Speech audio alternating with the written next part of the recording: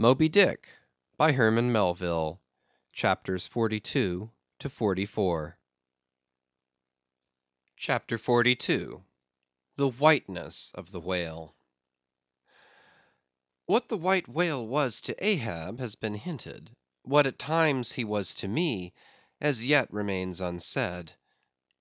Aside from those more obvious considerations touching Moby Dick, which could not but occasionally awaken in any man's soul some alarm, there was another thought, or rather vague, nameless horror concerning him, which at times by its intensity completely overpowered all the rest; and yet so mystical and well nigh ineffable was it, that I almost despair of putting it in a comprehensible form. It was the whiteness of the whale that above all things appalled me. But how can I hope to explain myself here? And yet in some dim random way explain myself I must, else all these chapters might be naught.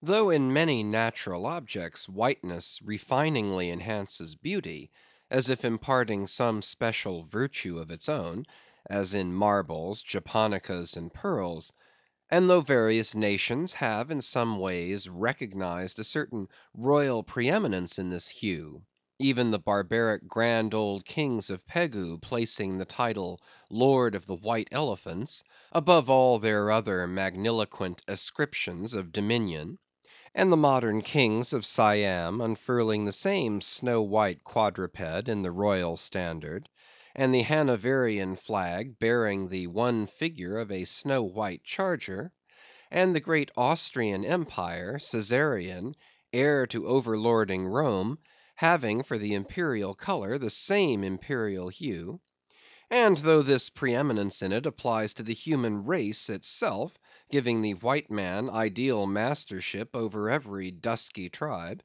and though, besides all this, whiteness has been even made significant of gladness, for among the Romans a white stone marked a joyful day; and though in other mortal sympathies and symbolizings this same hue is made the emblem of many touching, noble things; the innocence of brides, the benignity of age; though among the red men of America the giving of the white belt of wampum was the deepest pledge of honor; though in many climes whiteness typifies the majesty of justice in the ermine of the judge, and contributes to the daily state of kings and queens drawn by milk white steeds; though even in the higher mysteries of the most august religions it has been made the symbol of the divine spotlessness and power, by the Persian fire worshippers, the white forked flame being held the holiest on the altar, and in the Greek mythologies great Jove himself being made incarnate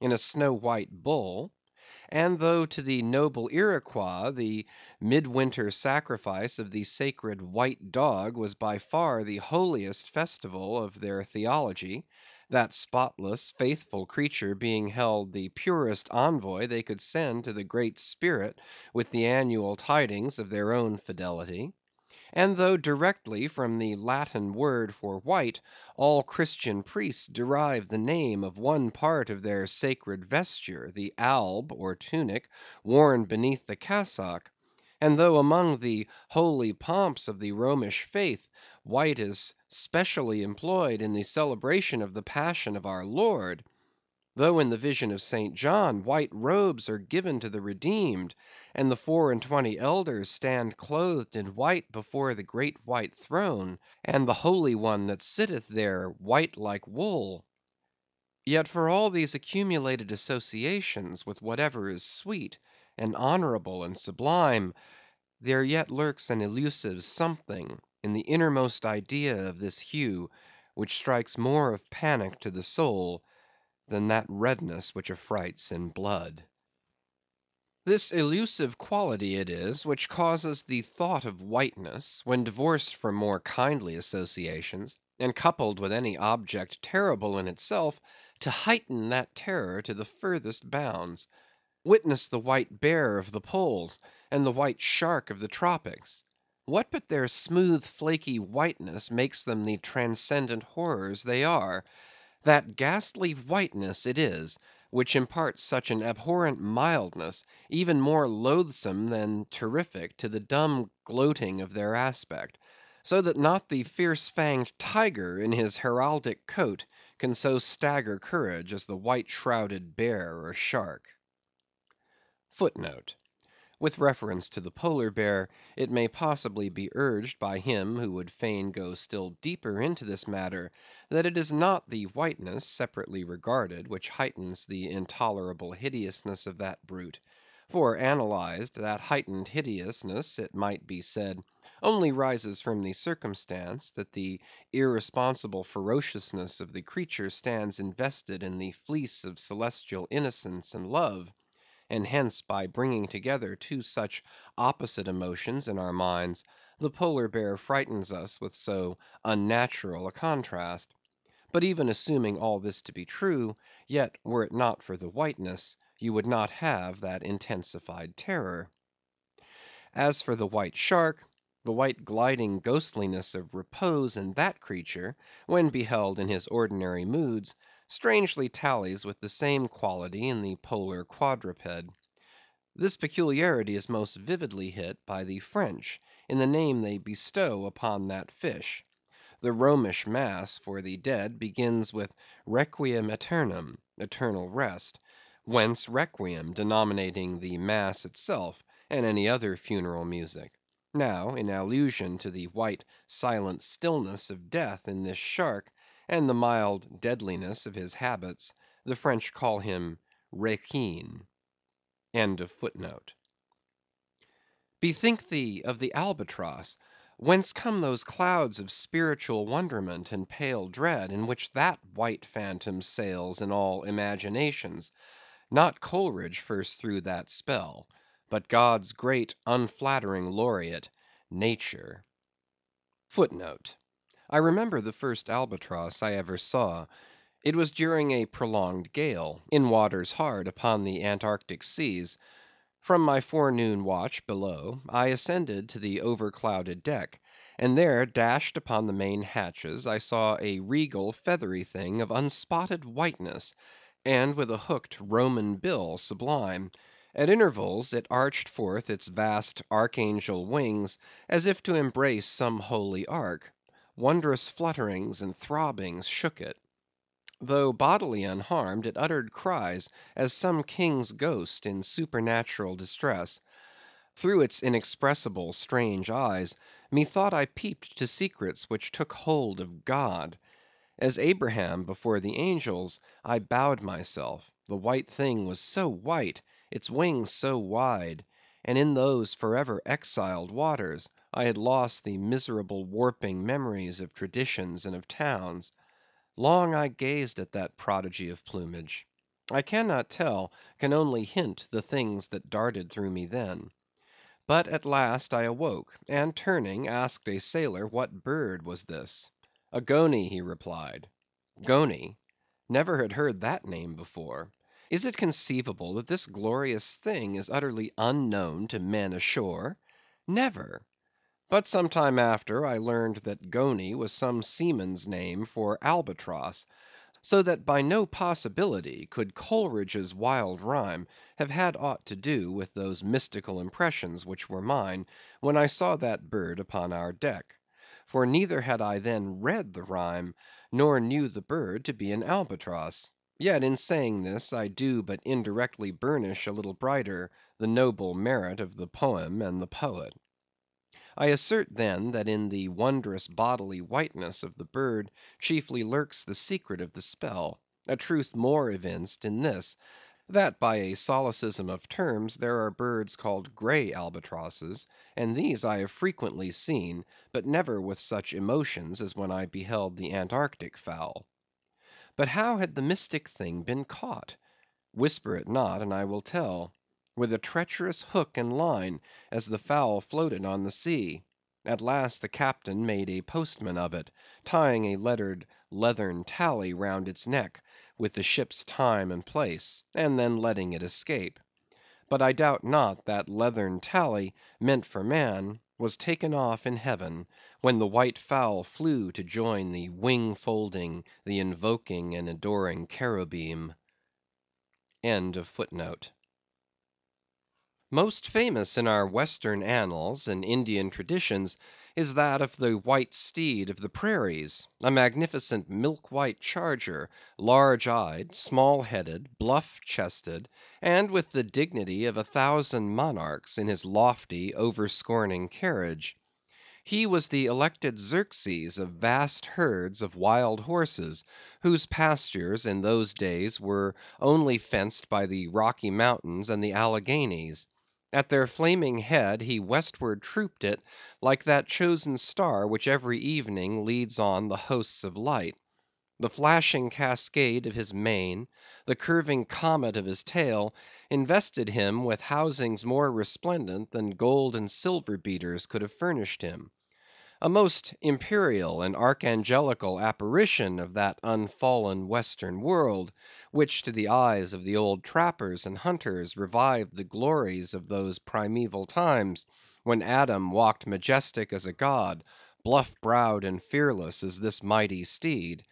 Whether marching amid his aids and marshals in the van of countless cohorts that endlessly streamed it over the plains, like an Ohio; or whether with his circumambient subjects browsing all around at the horizon, the white steed gallopingly reviewed them with warm nostrils reddening through his cool milkiness; in whatever aspect he presented himself, always to the bravest Indians he was the object of trembling reverence and awe. Nor can it be questioned from what stands on legendary record of this noble horse, that it was his spiritual whiteness chiefly which so clothed him with divineness; and that this divineness had that in it which, though commanding worship, at the same time enforced a certain nameless terror. But there are other instances where this whiteness loses all that accessory and strange glory which invests it in the white steed and albatross. What is it that in the Albino man so peculiarly repels and often shocks the eye, as that sometimes he is loathed by his own kith and kin? It is that whiteness which invests him; a thing expressed by the name he bears. The Albino is as well made as other men; has no substantive deformity; and yet this mere aspect of all pervading whiteness makes him more strangely hideous than the ugliest abortion. Why should this be so? Nor in quite other aspects does Nature in her least palpable but not the less malicious agencies, fail to enlist among her forces this crowning attribute of the terrible. From its snowy aspect, the gauntleted ghost of the southern seas has been denominated the White Squall nor, in some historic instances, has the art of human malice omitted so potent an auxiliary. How wildly it heightens the effect of that passage in Froissart, when, masked in the snowy symbol of their faction, the desperate White Hoods of Ghent murder their bailiff in the market place. Nor in some things does the common hereditary experience of all mankind fail to bear witness to the supernaturalism of this hue. It cannot well be doubted that the one visible quality in the aspect of the dead which most appals the gazer, is the marble pallor lingering there; as if indeed that pallor were as much like the badge of consternation in the other world, as of mortal trepidation here. And from that pallor of the dead, we borrow the expressive hue of the shroud in which we wrap them. Nor even in our superstitions do we fail to throw the same snowy mantle round our phantoms; all ghosts rising in a milk white fog.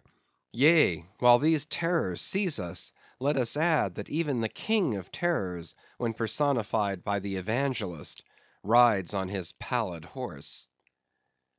Therefore, in his other moods, symbolize whatever grand or gracious thing he will by whiteness no man can deny that in its profoundest idealized significance, it calls up a peculiar apparition to the soul. But though without dissent this point be fixed, how is mortal man to account for it? To analyze it would seem impossible. Can we, then, by the citation of some of those instances, wherein this thing of whiteness, though for the time either wholly or in great part stripped of all direct associations calculated to impart to it aught fearful, but nevertheless is found to exert over us the same sorcery, however modified; can we thus hope to light upon some chance clue to conduct us to the hidden cause we seek? Let us try. But in a matter like this, subtlety appeals to subtlety; and without imagination no man can follow another into these halls. And though, doubtless, some at least of the imaginative impressions about to be presented may have been shared by most men, yet few perhaps were entirely conscious of them at the time, and therefore may not be able to recall them now. Why to the man of untutored ideality, who happens to be but loosely acquainted with the peculiar character of the day, does the bare mention of Whitsuntide marshal in the fancy such long, dreary, speechless processions of slow pacing pilgrims, downcast and hooded with new fallen snow? Or to the unread, unsophisticated Protestant of middle American States, why does the passing mention of a white friar or a white nun evoke such an eyeless statue in the soul? Or what is there, apart from the traditions of dungeoned warriors and kings, which will not wholly account for it, that makes the White Tower of London tell so much more strongly on the imagination of an untravelled American, than those other storied structures, its neighbors, the Byward Tower, or even the Bloody? And those sublimer towers, the White Mountains of New Hampshire? Whence, in peculiar moods, comes that gigantic ghostliness over the soul, at the bare mention of that name; while the thought of Virginia's Blue Ridge is full of a soft, dewy, distant dreaminess? Or why, irrespective of all latitudes and longitudes, does the name of the White Sea exert such a spectralness over the fancy? While that of the Yellow Sea lulls us with mortal thoughts of long, lacquered, mild afternoons on the waves, followed by the gaudiest and yet sleepiest of sunsets. Or to choose a wholly unsubstantial instance, purely addressed to the fancy; why, in reading the old fairy tales of Central Europe, does the tall pale man of the Hartz forests whose changeless pallor unrustlingly glides through the green of the groves; why is this phantom more terrible than all the whooping imps of the Blocksberg? Nor is it altogether the remembrance of her cathedral toppling earthquakes, nor the stampedos of her frantic seas, nor the tearlessness of arid skies that never rain, nor the sight of her wide field of leaning spires, wrenched copestones, and crosses all adroop, like canted yards of anchored fleets, and her suburban avenues of house walls lying upon each other as a tossed pack of cards; it is not these things alone which make tearless Lima the strangest, saddest city thou canst see. For Lima has taken the white veil; and there is a higher horror in this whiteness of her woe. Old as Pizarro, this whiteness keeps her ruins for ever new; admits not the cheerful greenness of complete decay; spreads over her broken ramparts the rigid pallor of an apoplexy that fixes its own distortions. I know that to the common apprehension, this phenomenon of whiteness is not confessed to be the prime agent in exaggerating the terror of objects otherwise terrible. Nor to the unimaginative mind is there aught of terror in those appearances whose awfulness to another mind almost solely consists in this one phenomenon, especially when exhibited under any form at all approaching to muteness or universality.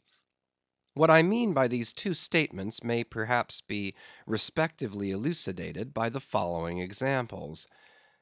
First, the mariner, when drawing nigh the coasts of foreign lands, if by night he hear the roar of breakers, starts to vigilance, and feels just enough of trepidation to sharpen all his faculties; but under precisely similar circumstances, let him be called from his hammock to view his ship sailing through a midnight sea of milky whiteness, as if from encircling headlands, shoals of combed white bears were swimming round him; then he feels a silent superstitious dread; the shrouded phantom of the whitened waters is horrible to him as a real ghost; in vain the lead assures him he is still off soundings; heart and helm they both go down; he never rests till blue water is under him again.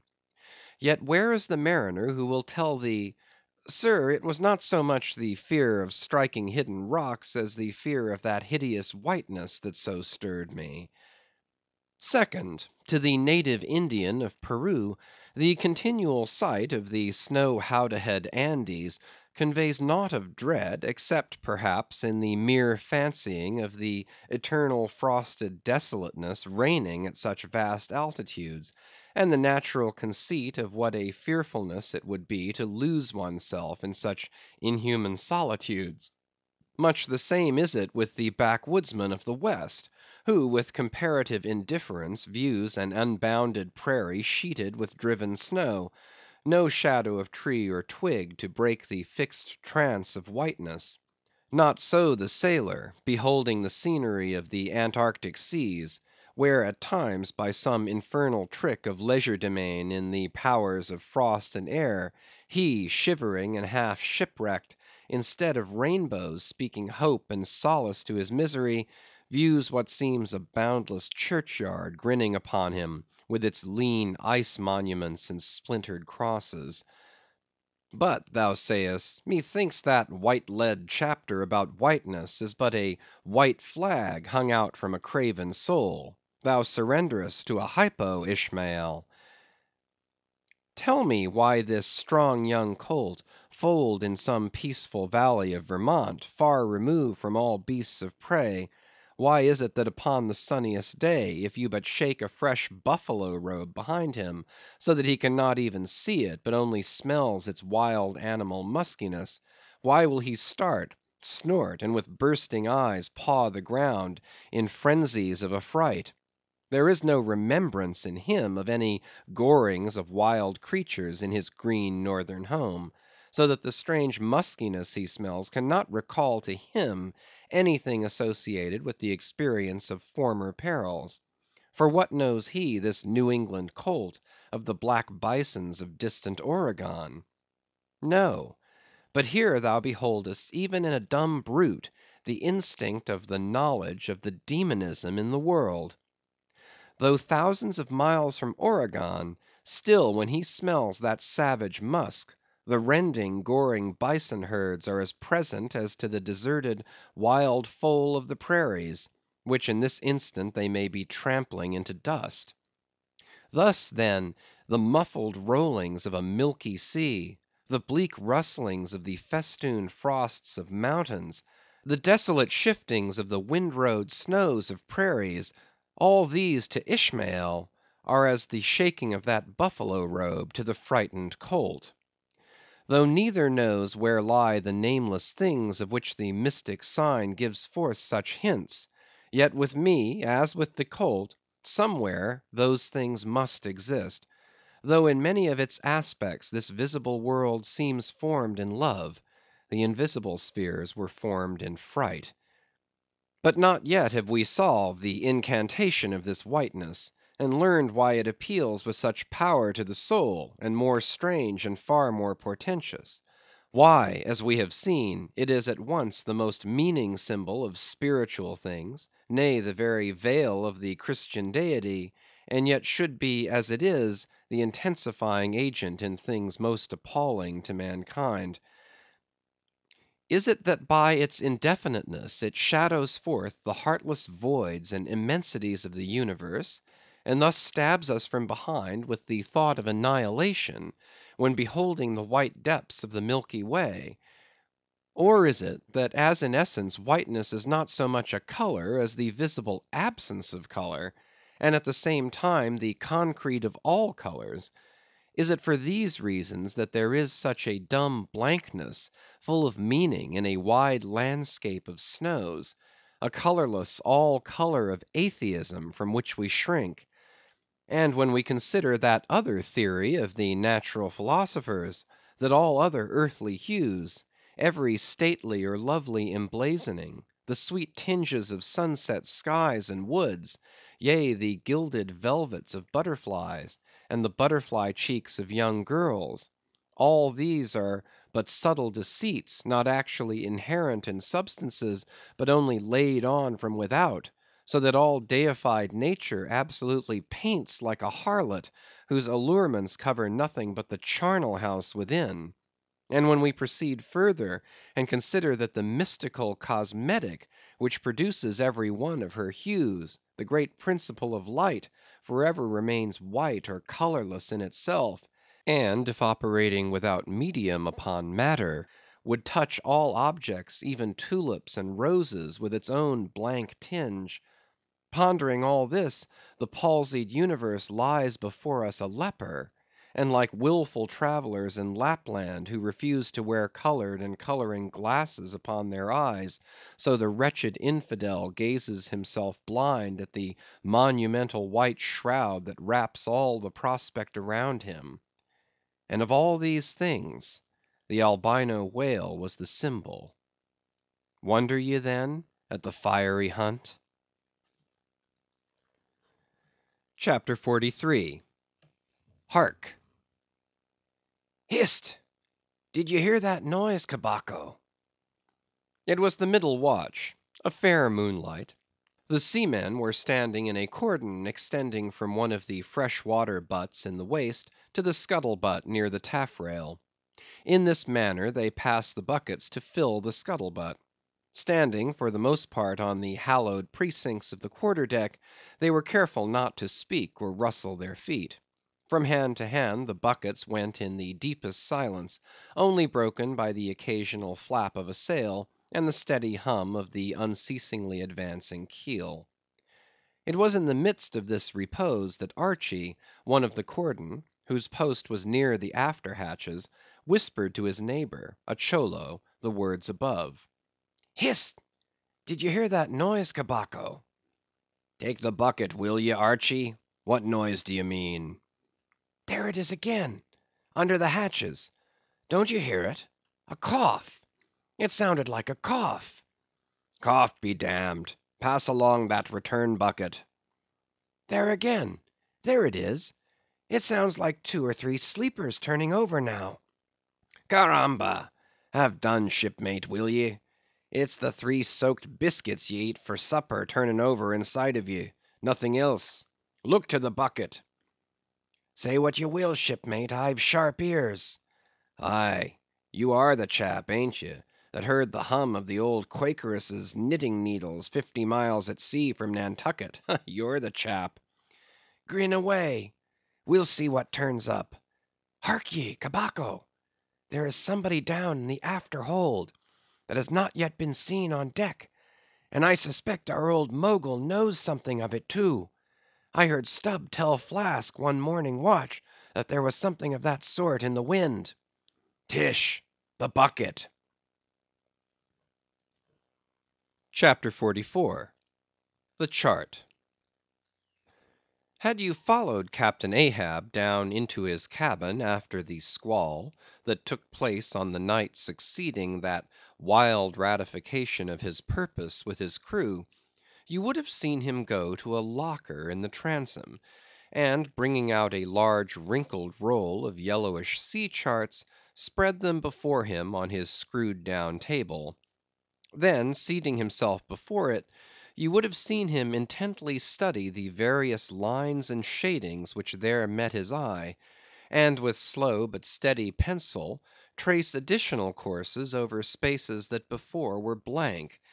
At intervals he would refer to piles of old log books beside him, wherein were set down the seasons and places in which, on various former voyages of various ships, sperm whales had been captured or seen.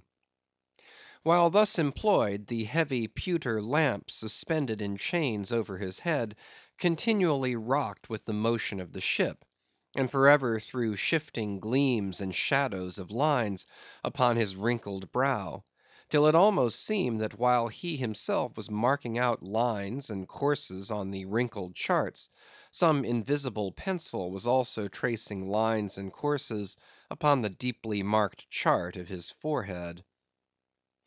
But it was not this night in particular that, in the solitude of his cabin, Ahab thus pondered over his charts. Almost every night they were brought out; almost every night some pencil marks were effaced, and others were substituted; for with the charts of all four oceans before him, Ahab was threading a maze of currents and eddies, with a view to the more certain accomplishment of that monomaniac thought of his soul. Now to any one not fully acquainted with the ways of the Leviathans, it might seem an absurdly hopeless task thus to seek out one solitary creature in the unhooped oceans of this planet. But not so did it seem to Ahab, who knew the sets of all tides and currents, and thereby calculating the driftings of the sperm whale's food, and also calling to mind the regular ascertained seasons for hunting him in particular latitudes, could arrive at reasonable surmises, almost approaching to certainties, concerning the timeliest day to be upon this or that ground in search of his prey. So assured, indeed, is the fact concerning the periodicalness of the sperm whale's resorting to given waters, that many hunters believe that could he be closely observed and studied throughout the world; were the logs for one voyage of the entire whale fleet carefully collated, then the migrations of the sperm whale would be found to correspond in invariability to those of the herring shoals or the flights of swallows. On this hint, attempts have been made to construct elaborate migratory charts of the sperm whale. Footnote: Since the above was written, the statement is happily borne out by an official circular, issued by Lieutenant Maury, of the National Observatory, Washington, April 16th, 1851. By that circular, it appears that precisely such a chart is in course of completion and portions of it are presented in the circular. "This chart divides the ocean into districts of five degrees of latitude by five degrees of longitude, perpendicularly through each of which districts are twelve columns for the twelve months, and horizontally through each of which districts are three lines, one to show the number of days that have been spent in each month in every district, and the two others to show the number of days in which whales, sperm or right, have been seen." End of footnote. Besides, when making a passage from one feeding ground to another, the sperm whales, guided by some infallible instinct, say rather secret intelligence from the Deity, mostly swim in veins as they are called, continuing their way along a given ocean line with such undeviating exactitude that no ship ever sailed her course by any chart with one tithe of such marvellous precision; though in these cases the direction taken by any one whale be as straight as a surveyor's parallel, and though the line of advance be strictly confined to its own unavoidable straight wake, yet the arbitrary vein in which at these times he is said to swim generally embraces some few miles in width more or less as the vein is presumed to expand or contract, but never exceeds the visual sweep from the whale ship's mast heads, when circumspectly gliding along this magic zone. The sum is, that at particular seasons within that breadth and along that path, migrating whales may with great confidence be looked for. And hence not only at substantiated times, upon well known separate feeding grounds, could Ahab hope to encounter his prey, but in crossing the widest expanses of water between those grounds, he could, by his art, so place and time himself on his way, as even then not to be wholly without prospect of a meeting. There was a circumstance which at first sight seemed to entangle his delirious but still methodical scheme. But not so in the reality, perhaps. Though the gregarious sperm whales have their regular seasons for particular grounds, yet in general you cannot conclude that the herds which haunted such and such a latitude or longitude this year, say, will turn out to be identically the same with those that were found in the preceding season; though there are peculiar and unquestionable instances where the contrary of this has proved true. In general, the same remark, only within a less wide limit, applies to the solitaries and hermits among the matured, aged Sperm Whales. So that though Moby Dick had in a former year been seen, for example, on what is called the Seychelle Ground in the Indian Ocean, or Volcano Bay on the Japanese coast, yet it did not follow, that were the Pequod to visit either of those spots at any subsequent corresponding season, she would infallibly encounter him there. So, too, with some other feeding grounds, where he had at times revealed himself. But all these seemed only his casual stopping places and ocean inns, so to speak, not his places of prolonged abode. And where Ahab's chances of accomplishing his object have hitherto been spoken of, allusion has only been made to whatever wayside, antecedent, extra prospects were his, ere a particular set time or place were attained, when all possibilities would become probabilities, and, as Ahab fondly thought, every possibility the next thing to a certainty. That particular set time and place were conjoined in the one technical phrase, the season on the Line; for there and then, for several consecutive years, Moby Dick had been periodically descried lingering in those waters for a while, as the sun in its annual round loiters for a predicted interval in any one sign of the zodiac. There it was, too, that most of the deadly encounters with the White Whale had taken place; there the waves were storied with his deeds; there also was that tragic spot where the monomaniac old man had found the awful motive to his vengeance. But in the cautious comprehensiveness and unloitering vigilance with which Ahab threw his brooding soul into this unfaltering hunt, he would not permit himself to rest all his hopes upon the one crowning fact above mentioned, however flattering it might be to those hopes; nor in the sleeplessness of his vow could he so tranquillize his unquiet heart as to postpone all intervening quest. Now the Pequod had sailed from Nantucket at the very beginning of the season on the Line. No possible endeavor, then, could enable her commander to make the great passage southwards, double Cape Horn, and then running down sixty degrees of latitude, arrive in the equatorial Pacific in time to cruise there. Therefore he must wait for the next ensuing season. Yet the premature hour of the Pequod's sailing had, perhaps, been correctly selected by Ahab with a view to this very complexion of things. Because an interval of three hundred and sixty five days and nights was before him; an interval which, instead of impatiently enduring ashore, he would spend in a miscellaneous hunt; if by chance the White Whale, spending his vacation in the seas far remote from his periodical feeding grounds, should turn up his wrinkled brow off the Persian Gulf or in the Bengal Bay, or China seas, or in any other waters haunted by his race. So that monsoons, pampas, nor' westers, harmattans, trades, any wind but the Levanter and Simoon, might blow Moby Dick into the devious zigzag world circle of the Pequod's circumnavigating wake. But granting all this, yet regarded discreetly and coolly, Seems it not but a mad idea this, that in the broad boundless ocean, one solitary whale, even if encountered, should be thought capable of individual recognition from his hunter, even as a white bearded Mufti in the thronged thoroughfares of Constantinople? Yes; for the peculiar snow white brow of Moby Dick, and his snow white hump, could not but be unmistakable.